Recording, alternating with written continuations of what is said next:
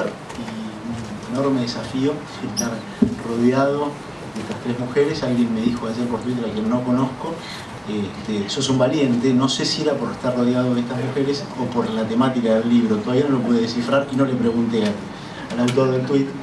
Eh, creo que son las dos cosas. Eh, la verdad es que eh, el trabajo que ha hecho Laura, al que conozco, no digo desde la, misma fecundación, pero más o menos, creo que es un aporte fundamental en estos tiempos donde lo que alguna vez dijo García Márquez, que es la vida no es lo que uno ha vivido, sino lo que uno lo recuerda y cómo lo recuerda para contarla, que se ha hecho ese relato, eh, la realidad. Este tipo de trabajos nos sirve para poder entender de alguna manera el tiempo que nos toca vivir somos sin duda testigos privilegiados. A veces uno prefiere no ser testigo de algunas cosas, pero nos tocan. De un tiempo excepcional, un tiempo que eh, a veces nos preguntamos cómo es que pasaron determinadas cosas en la historia. Y haber sido testigos y de alguna manera testigos privilegiados de este tiempo, nos da una perspectiva que es difícil de tener si uno no lo ha vivido un trabajo como el de Laura, con el rigor, con la intensidad y sobre todo con la sensibilidad. Ella muchas veces habla de esa sensibilidad femenina para ver la perspectiva de la política, de la historia política, de la historia personal de la política. Yo creo que nos aporta una mirada diferente, que nos aporta una perspectiva distinta que nos permite comprender mucho mejor. Laura se ha metido en esta, la verdadera historia, eh, con cosas extremadamente sensibles, con cosas que a ella misma le hicieron dudar si era conveniente meterse, con cosas de la intimidad de la presidenta. Eh, en una etapa donde eh, hurgar en los hechos públicos es difícil, donde los periodistas nos cuesta excepcionalmente poder meternos con lo que ocurre y que debería ser de conocimiento público, imaginen lo que significa meterse con una historia privada, con una historia íntima. Que a Laura, como lo hemos charlado varias veces, nos estaban las dudas que le generaba meterse. No solo por el temor, porque la verdad es que tiene una valentía que yo admiro, eh, sino porque eh, es ético para un periodista hacerlo, porque tiene valor eh, para el conocimiento público meterse con eso, y el libro sin duda nos da muchas respuestas a eso, y sin duda yo comparto que sí es necesario, sí es necesario porque ese entender de dónde vienen las cosas, de dónde vienen las personas, cuál es la vida que han vivido, cuáles son las relaciones que han mantenido, cuáles son las amistades que han tenido o no han tenido, como en este caso, o que no han podido sostener en el tiempo, como ocurre con la biografiada, nos permite entender muchas cosas de la política, nos permite entender eh, cómo se construyen vínculos o no se construyen vínculos en política, cómo se articula un diálogo o cómo no se permite que haya un intercambio de ideas y de miradas. Pero el libro no se queda solo en la intimidad, el libro tiene el valor de hurgar en tomas de decisiones que han sido absolutamente relevantes, que son decisivas para el devenir político de este país, para el devenir económico, para la historia de nuestro país. Y nos permite mirar hacia adelante, hacia lo que vendrá después de diciembre de 2015, para pensar en qué nos va a tocar, qué nos va a quedar de lo que pasó en estos 12 años y en estos 8 de Cristina en particular. Y también ahí pone la mirada Laura. Y me parece que esa, es, esa mirada retrospectiva, prospectiva, es lo que nos da una obra que no solo tiene actualidad, sino que tiene futuro, que piensa y nos piensa y de alguna manera nos interpela a todos frente a lo que hacemos, a lo que hemos hecho, a lo que habremos de hacer. Y yo creo que acá está lleno de esas claves. Eh, esas pequeñas intimidades, esos temores, esas, eh, esos actos de valentía a veces rayana con la temeridad que ha tenido y tiene a veces la presidenta, están bien reflejadas aquí. Eh, están llevadas a la génesis de esas situaciones. Y esto es lo que Laura me parece que ha conseguido con ese rigor, con ese trabajo, con esa sensibilidad, como decía al principio, ponernos en esta historia. Eh, no teníamos, y es muy difícil biografiar a alguien que está en el poder y cuando está en el ejercicio del poder más absoluto, como ocurre en estos tiempos, con el control de muchas de las palabras, de las imágenes y de las decisiones. Encontrar gente que hable de su intimidad, eh, para los periodistas es algo casi imposible. Y Laura lo logró, y yo creo que lo logró porque es una profesional excepcional, pero además porque tiene esa sensibilidad, ese generar en el otro la confianza, el poder abrirse a contarnos algo, el mostrarnos algo que a lo mejor a otro no se lo contaría, o que ni siquiera se le ocurriría decírselo, porque el disparador de esta historia eh, es alguien que le cuenta, yo conozco al verdadero padre. esto es, eh, no es habitual ni en la política ni en las, relaciones con los periodistas. Eh, y hay que tener sensibilidad para captarlo, pero tenés que generar en el otro ese abrirse, esa disposición a decirlo. no, lo, no pocos lo consiguen, no son pocos los periodistas que pueden generar en el otro esa confianza, esa disposición, esa actitud. Eh, yo creo que en eso eh, radica gran parte de la admiración que yo tengo por Laura, por su trabajo, por esta obra en particular, además de las anteriores. Eh, y además como con Laura comparto cotidianidades porque publica con frecuencia en el suplemento Enfoques, al que a mí me toca supervisar en el de la Nación. conozco la manera de trabajar, conozco esa eh, ese rigor y ese deseo de llegar al fondo y esa inconformidad cuando no lo encuentra.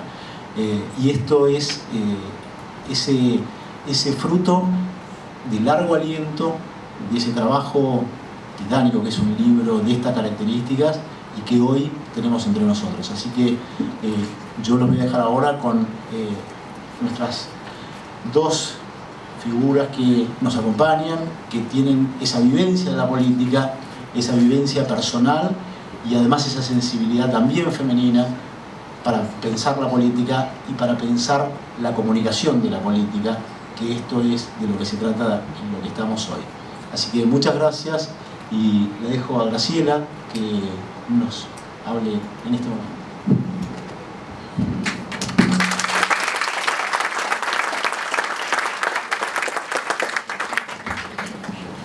Muchas gracias a Sudamericana y a Laura por haberme invitado a hablar.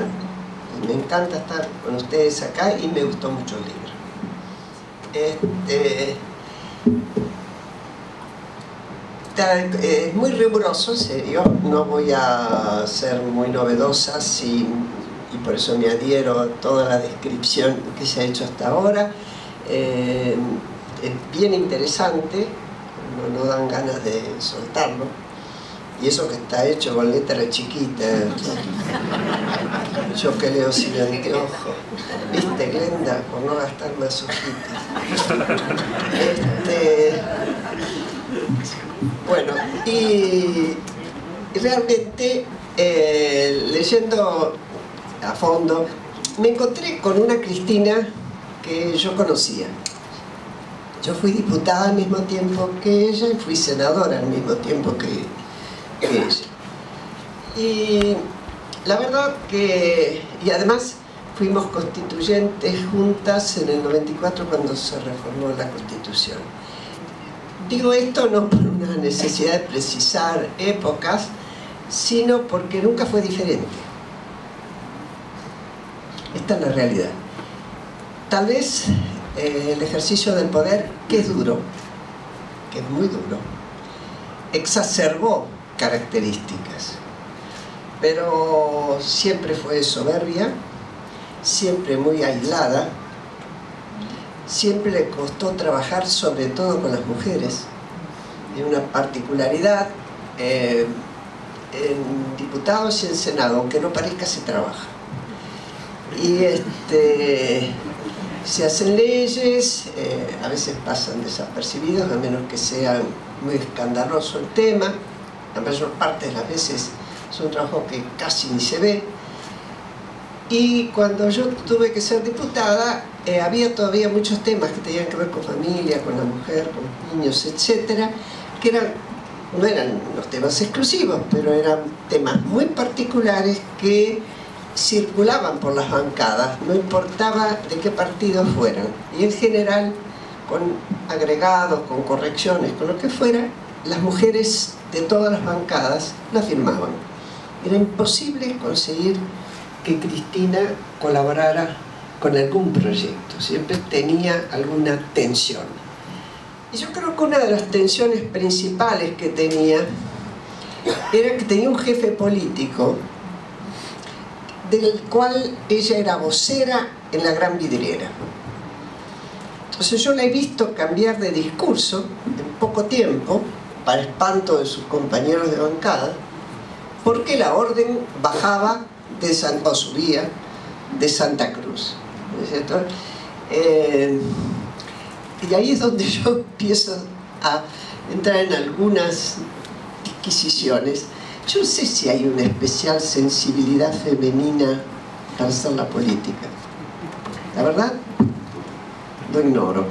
Menos cuando se responde férreamente a un jefe político, acostumbrado a hacer política, obviamente. Bueno, eh, hay una frase de Ricardo Sidicaro que citamos, donde ella, donde dice Ricardo, que Cristina tiene un registro de la realidad muy viejo. Y es verdad, tiene un registro de la realidad antiguo, fijado a cuestiones férreas que le cuestan, que le impiden ver cómo se modifica la realidad y acompañarla, me parece a mí. A lo mejor está ligado, muy posible, a su infancia, a sus orígenes, uno puede hablar de resentimientos, de varias cosas, ¿cierto? Y está claro, está claro.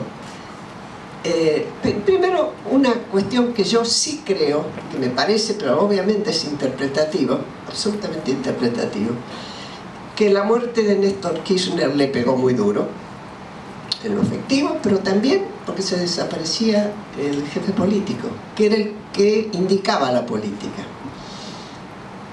tengo la impresión, por las características de Cristina y en mis muchos años he conocido mujeres que les pasó más o menos lo mismo, que cuando toman el rol de trabajo, en este caso gobernar un país, se proponen ser mejores.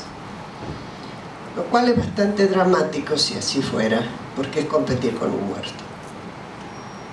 Y eso eh, te engancha más atrás y te agarra más en una realidad que no cambia.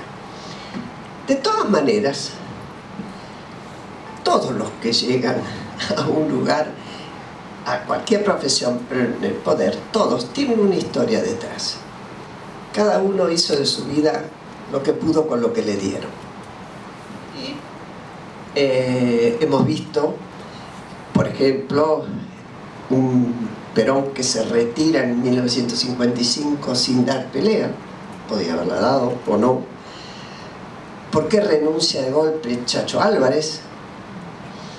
¿Por qué se va de la Rúa?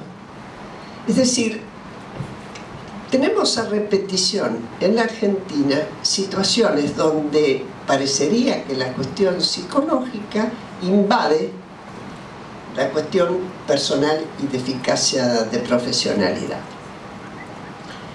Eh, en el caso de Cristina, incluso, eh, uno puede decir que cuando eh, encuentra enemigos, cuando busca enemigos y los busca y los busca, hasta el final no es que ella los persigue, sino que dice que la amenazan, como es el caso de ahora. Leyendo tu libro, me acordé que yo había leído hace mucho tiempo una poesía de un griego, ya ni me acordaba el nombre, tuve que sacar las claves, qué sé yo, era Cavafis, Constantino Cavafis, era poesía que decía esperando a los bárbaros. Y me cuenta cómo eh, los griegos esperaban los bárbaros, que ya entraban, que ya entraban, y el Senado se paró y decían, bueno, vamos a hacer leyes, pero cuando lleguen los bárbaros, y toda la ciudad estaba preparada entre la ansiedad y el miedo a que llegaran los bárbaros. Y después dice, ¿por qué calles y plazas a prisa se vacían y todos vuelven a casa compungidos? Porque se hizo de noche y los bárbaros no llegaron. Los bárbaros no existen. ¿Y qué va a ser de nosotros ahora sin bárbaros? Esta gente, al fin y al cabo, era una solución. Bueno, me parece que encaja. Tengo la impresión de que encaja. Eh, ahora, este es el único país donde los presidentes tienen problemas subjetivos. No. Hemos visto países, el susto que se debe haber pegado Dilma con la avanzada de, Marina Silva y recompuso y sale adelante. Las veces que fracasó el Frente Amplio y sin embargo siguieron y, y están sólidos. Los escándalos en Estados Unidos, escándalos a rolete, Clinton. Acuérdense. Ahora, ¿qué es lo que hace que ese presidente no le encima del país? Hay institucionalidad. Y acá tenemos un problema serio, del cual yo me hago cargo en doble partido, en doble figura. Como sociedad, como miembro de la sociedad, pero también de lo que fui clase política. Hoy ya no soy, pero creo que es más responsable. Clase política, empresarial, religiosa, cualquiera que sea dirigente, hay una responsabilidad en la construcción de la institucionalidad. Y somos, los otros días leí un artículo de Juan Yach, me pareció fantástico, dice el país de las desmesuras. ¿no? Y él saqué algunos datos que recordaba. Del 30 al 76, seis gobiernos militares del 75 al 2001-2002, seis crisis económicas. Como nunca, esta vuelta, tenemos un presupuesto del 6% del Producto Bruto Interno para educación. Nunca nos fue peor en las pruebas PISA. Inflación 40, por supuesto, si eh, recordamos el Rodrigazo, fue peor. Pero para tomar la media, un INDEC que durante siete años miente sobre la inflación, sobre la situación del empleo, sobre la pobreza y sobre la indigencia. Hubo movimientos guerrilleros con bastante apoyo social cuando luchaban contra las dictaduras y al que se, se van y llega la democracia siguen peleando. Otra desmesura. Una represión trágica como nunca se vio desmesurada y perversa, y todo nos pasa a nosotros. No es que no haya pasado similares en otros países, pero nosotros siempre es en grado extremo paroxístico casi. Una casi guerra contra Chile y una guerra con la OTAN, con Inglaterra, nada menos. Por otro lado, tenemos el mayor, uno los porcentajes más altos de gasto del Estado son los empleados públicos. ¿Qué quiere decir eso? ¿Que tenemos mucho Estado? No, en realidad hoy por hoy estoy dispuesta a discutir, pero para mí el Estado brilla por su ausencia en educación, en salud, en seguridad. Es decir, estamos con un problema y ojalá pensando en el futuro, seamos capaces, y a lo mejor nos permiten el resultado de las últimas elecciones, es decir, una posición de la sociedad que ha repartido el voto, que haya un equilibrio de partidos, porque solo así hay democracia y hay políticas públicas que funcionan. Solo si hay equilibrios de partido. Cuando nosotros venimos hoy con un congreso, resultado de unas elecciones del 54% Cristina Fernández de Kirchner y 17% el que lo seguía, no podemos espantarnos de que el Congreso, parezca eh, que no puede parar nada, y no puede parar. Y el ejemplo lo tuvimos ayer, hoy, con, el código ¿no? penal y el código civil y comercial. Bueno, resultado de partidos débiles, de poca visión o poca promesa de que se pueda eh, cambiar de partido, que la gente pueda elegir, eh, que, haya alterna, alternancia en el ejercicio del poder, tenemos un ejecutivo muy dominante, con tendencias autoritarias en general, culto de la personalidad en general, y que comete en este caso grandes atropellos y parecería pagar pocos costos por ahora. Pero claro, los bárbaros no van a llegar. Eh, yo creo que la sociedad tiene que tener una exigencia muy fuerte con respecto a los dirigentes. Es hora de que exijamos capacidad, profesionalismo, honestidad, mientras la sociedad siga creyendo que la corporación política es garantía de que se va a vivir económicamente bien, no va a creer en la política. Y esto es algo que tenemos que exigirlo. Yo creo que un Estado es un espacio en el que la sociedad piensa sobre sí misma y sobre su futuro. Y que es un proceso circular, o debería ser un proceso circular. Es obligación de los dirigentes, funcionarios públicos, políticos, disparar ideas, hacer propuestas, que éstas pasen en la sociedad a través de todas las organizaciones y que esas ideas vuelvan después de haber sido meditadas y consensuadas. Eso significa políticas de Estado. Eso es lo que no tenemos. Y aquello por lo que, más allá que sea Cristina o quien sea, porque va a pasar, por excelente que sea el libro, es un episodio en la historia de un país y quedará como testimonio de una de las tantas cuestiones dramáticas que nos tocó vivir. No será la única. Somos unos cuantos testigos viejos como yo, por ejemplo, pasamos por unas cuantas. Este, ahora el asunto es, ¿qué vamos a exigir como sociedad? Gracias.